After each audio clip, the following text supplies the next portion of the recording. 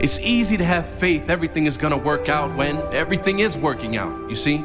It's much harder to have faith when you're facing challenges in your life. But that's exactly when you need to have faith. Because faith is believing in the unseen. Faith is taking the first step. Faith is jumping in the deep end and knowing everything will be okay. It's easy to be positive when everything is working out. But it's much harder, much, much harder when nothing is working out. But that's when we need it the most. Everything worth the prize is worth the fight. Everything worth the prize will require a real fight to achieve that prize. If you want the prize, you can't quit halftime. You can't quit mid-season. You must play the whole game.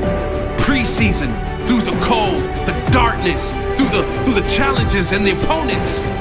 You will be knocked down, of course, but you must get up. Keep fighting, dig deep, and discover your true strength. Then you will win the real prize.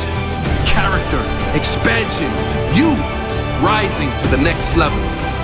If I survive the storm, I can outdo the norm. To break through the norm, I must first survive the storms. To have more than most, I must do more than most, believe more than most, learn more than most, sacrifice more than most, believe more than most. Now say to yourself, long term, I know what I need will come my way.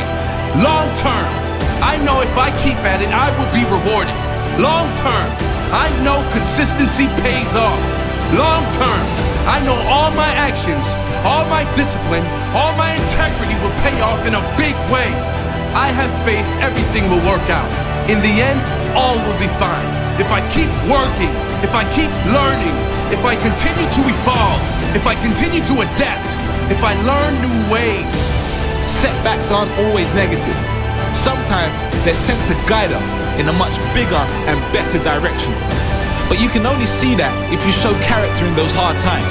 If you remain open-minded in the hard times. If you show strength through your struggles. Don't say why me. Ask how can I come out this stronger? What can I learn? In the hard times, we see who really has the character. In the hard times, we see what people are really made of. What are you made of? Tell me, what are you made of? Character, expansion, growth, and pride. Character, expansion, growth, and pride. Dig deep. Find that strength that lives inside you. Trust that if you keep doing your thing, you will be rewarded. It might not happen right away.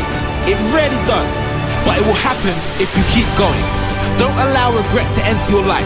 Don't you dare look back on your life in five years and think, I could have done more. If only I stuck it out. I could have been in a much better position. No. Look back with pride. Look back and be able to say to yourself, it wasn't easy, but I am so proud I stuck it out because I got my rewards. Make sure your story is one of strength. Make sure your story is of someone who refused to give up, someone who refused to settle, someone who refused to be normal. Keep going. Your future self is begging you.